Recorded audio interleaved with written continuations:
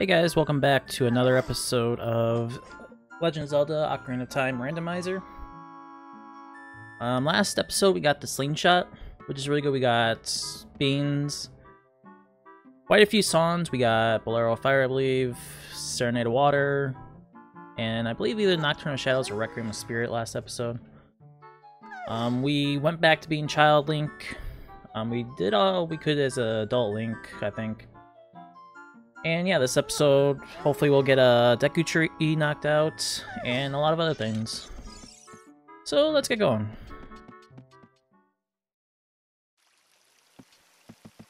So probably from some of the first stuff I'm going to be doing is getting some gold Skulltulas here. No, sorry, I don't want to talk to you. Um, with bugs, we'll be able to get Bean Patch Skulltulas out of the way here. Think there's three of them we can get right now. Get a little to the left of that, and quickly recapture one of them.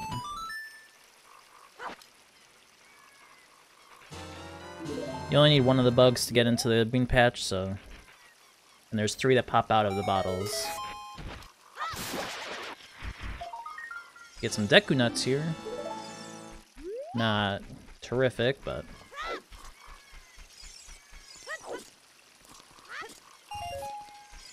next we'll be going into the Lost Woods, getting those, and doing the Slingshot archery game. And here's the other Bean Sprout. I believe we have one more after this.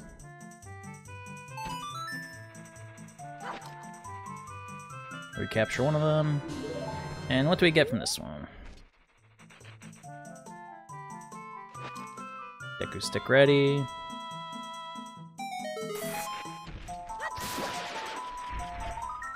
And just a heart piece.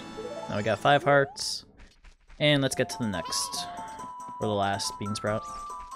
And here's the last one. And we will have to plant a bean here to get the Gold Skulltula as Adult Link, which is up above this. And this one will be... Come on.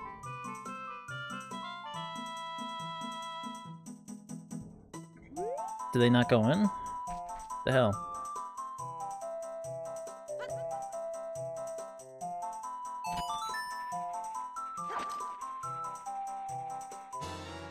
Alright, they should go in on this one. Don't know why I didn't do it last time. There we go. And we get a small key to Gerudo Training Grounds here. Our first one for that. And the only other thing that we can do in Lost Woods right now is the slingshot minigame. Need to get 300... Oh yeah, we have to plant the bean. Almost forgot that. Let's get our slingshot out and the beans.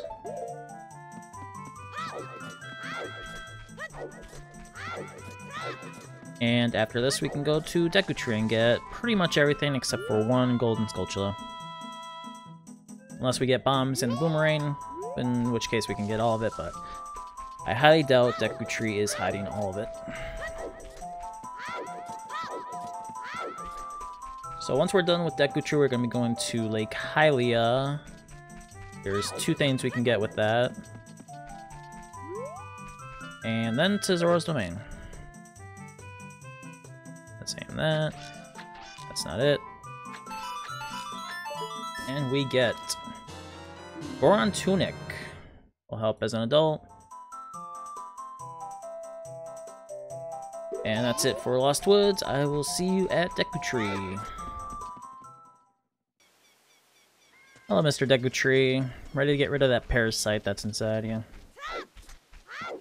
We don't have a sword, but Deku Sticks are more powerful, and we have plenty of them to get through this. We already did everything on the upper levels, so we'll just go down here.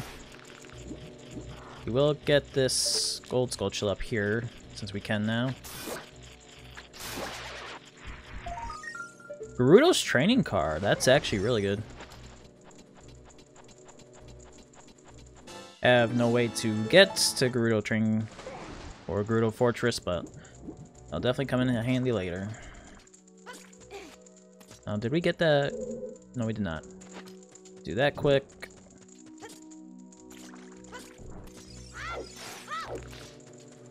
So the main items we're looking for now is really bombs, ocarina, and boomerang. Is what we really need.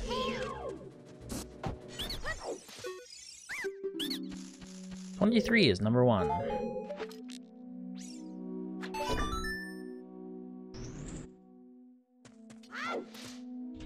So something I want to talk about, and I'm pretty sure some of you have already seen it, but the Mario Direct was today, 35th anniversary of it. And I can say I am very excited for two of the announcements. Super Mario 3D World coming to Switch in February, I believe, February 21st. And of course, the bigger one, which I'm very happy of, is Super Mario 3D All-Stars, which is going to be three games Super Mario 64, Super Mario Sunshine, and Super Mario Galaxy. I'm probably one of those who can't believe the leaks actually turned out to be true. And I cannot wait for that. I have actually never played Galaxy or Sunshine. 64 I played a lot of. And yeah, I just cannot wait for the 18th. I'm gonna lose 60 bucks right away there, but it's gonna be so worth it. The only thing I'm not gonna, don't know right now, and probably won't find out until then, is how the controls are gonna be working for Super Mario Galaxy. Because for those who don't know, Wiimotes were necessary for that game.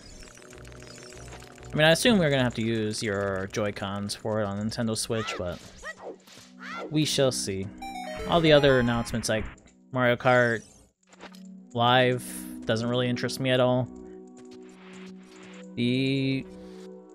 I believe it was regular Mario All-Stars All Stars on the NES, Super NES Classic. Or no, the emulator on Switch is also kind of interesting. Might play through that. I do have Nintendo Switch Online.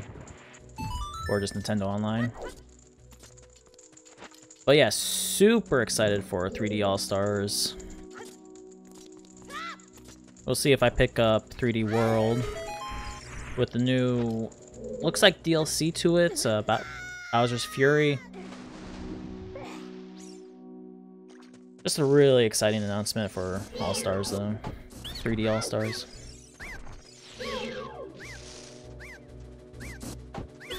We'll get Gohma here taken care of. Hopefully I can one-cycle her. Or this happens.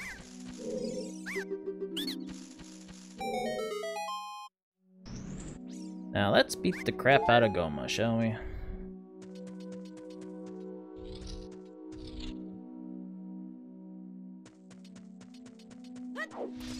Hope I can one-cycle it. I Sometimes of, it's like 50-50 if I can one-cycle it with Deku Sticks. Without, like, crowd hitting them, or crouch hitting them, but...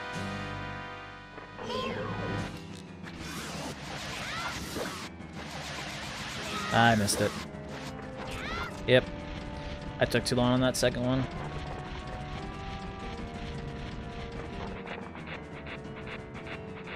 I don't really like using glitches in this game just because I love the game so much. I'm not looking to really speedrun this. And there we go. So that is gonna be Deku finished off. And let's see what we get.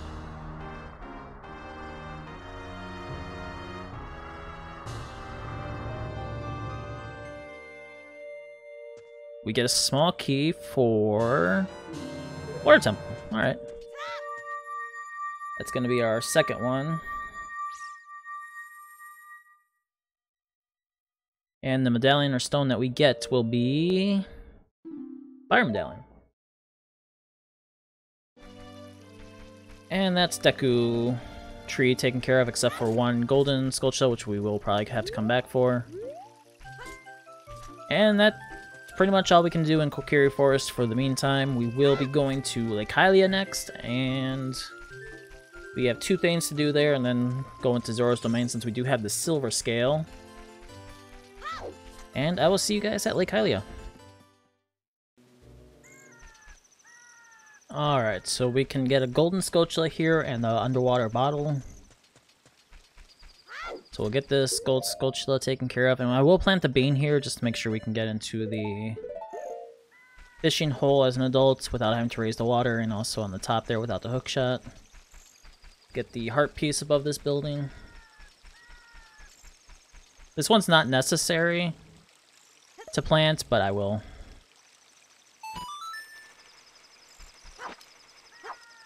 Okay, I got one. It's actually kind of close not to get that one.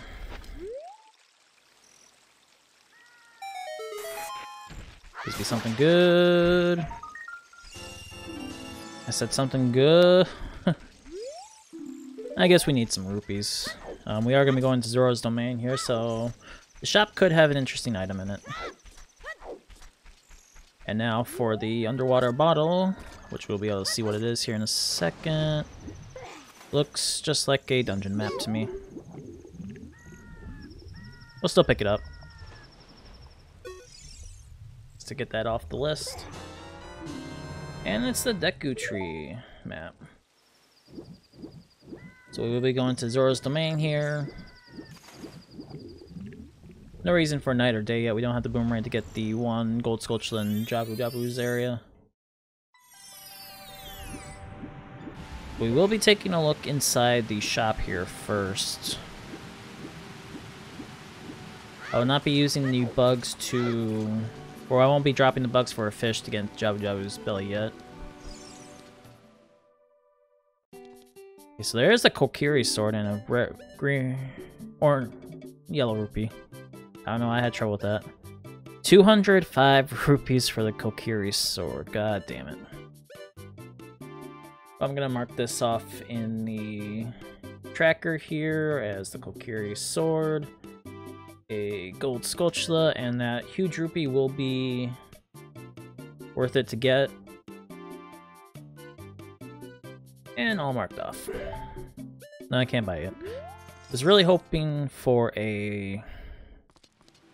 Add Deku Sticks in it, didn't Probably shouldn't do this, but I will buy some Deku Sticks. And that's all we can get. Alright. So next we'll be doing the torch run here.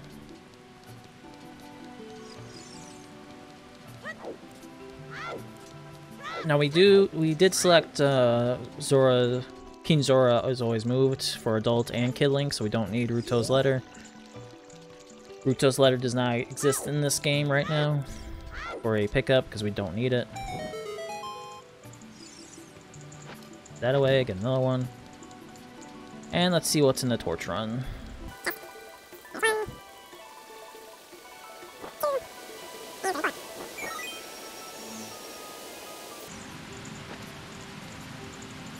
Our prize is Gold Skulltula. Of course it is. We are just one away from the 20 prize now. Um, we will be doing the diving minigame now. And after that, we'll get a Gold Skulltula in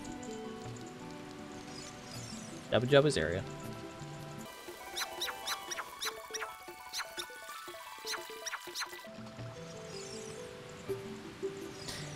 Okay, slight oversight. We needed 20 rupees for that. Not my best play, as I forgot about that. When I usually do these randomized, I usually give myself all wallet upgrades and max rupees so I don't have to spend time farming, but for this one I decided not to do that. There's Lord Jabu Jabu.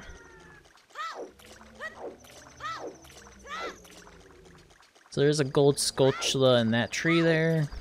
If we had bombs in Zelda's Lullaby, we could get the Zora's Fountain here, but... Or the Great Fairy's Fountain.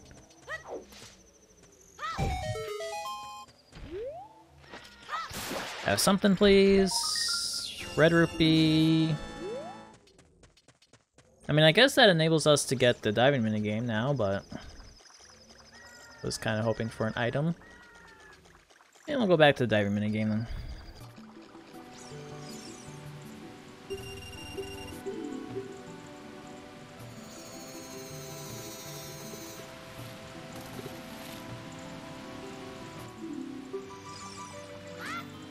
And here we go.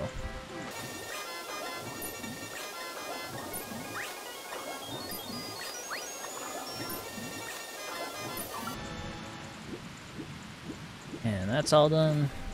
Let's go speak back to him and see what our prize is for this one.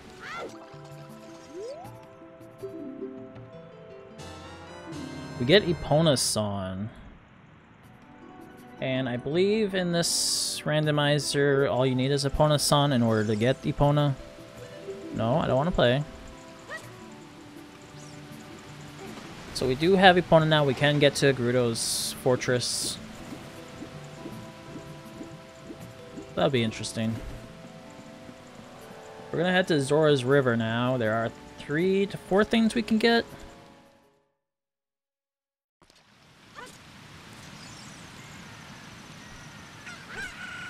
Oh no, we've already been here, alright.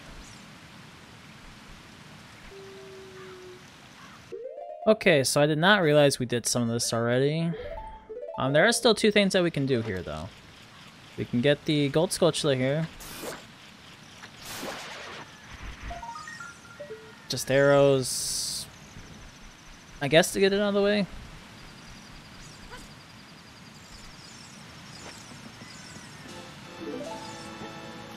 And then I think we can also buy something from the Magic Bean salesman for 60 rupees.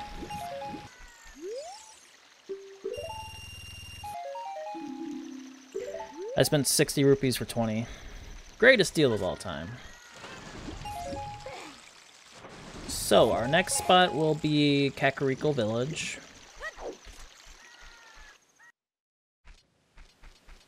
And here we are at Kakariko. I did wait until nighttime in order to get a gold Skulltula that we did not could not get last time.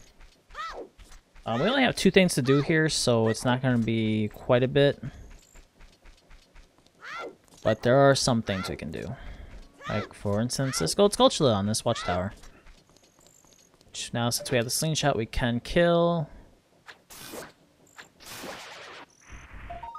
And it's a gold Skulltula token. That's actually good here because we can get our 20th or our 20 Skulltula token reward.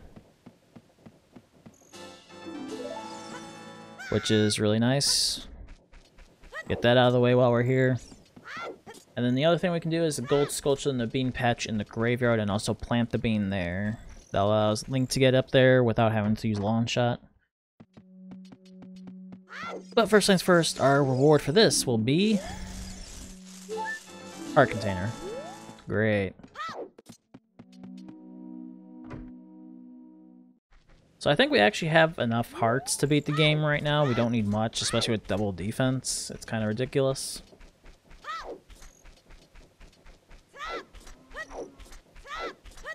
But onto the graveyard to plant a bean and get a gold Skulltula. Which I will need bugs out for. And I hope it's like the ocarina or something. Or the boomerang. The boomerang would be nice too. Or bombs.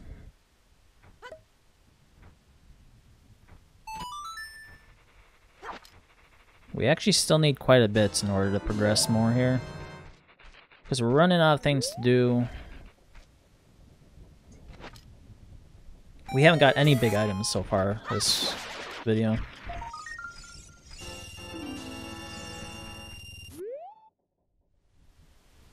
So I will plant that.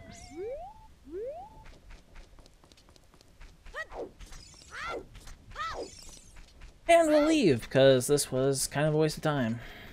Except for planting the bean, but... Anyone could have done that.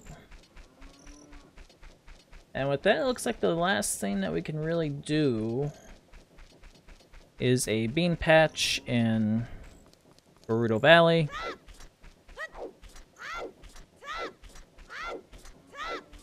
That'll be our next location, and after that, I don't think there's anything else we can do as a kid. Unfortunately, we still can't get into the Goron area.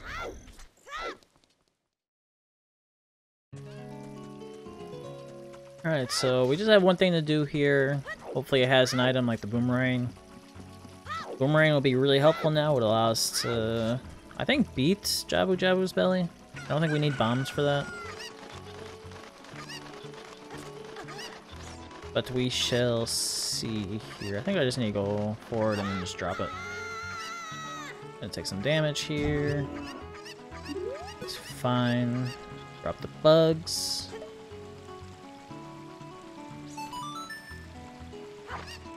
Grab one more because we still have at least one more. None of them went in the center, did they?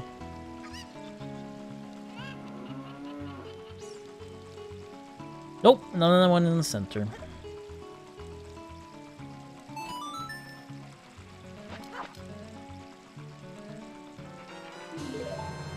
He's going in the center. No, I don't want to talk to you.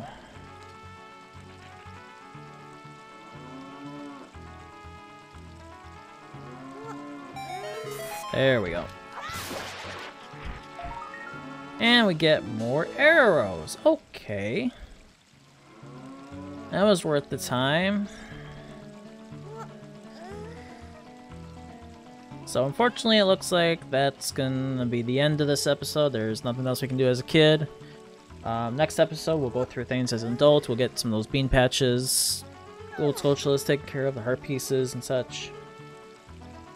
Yeah, that'll be the end of today's episode. Kind of lackluster, nothing interesting happening, but that's just the nature with these randomizers.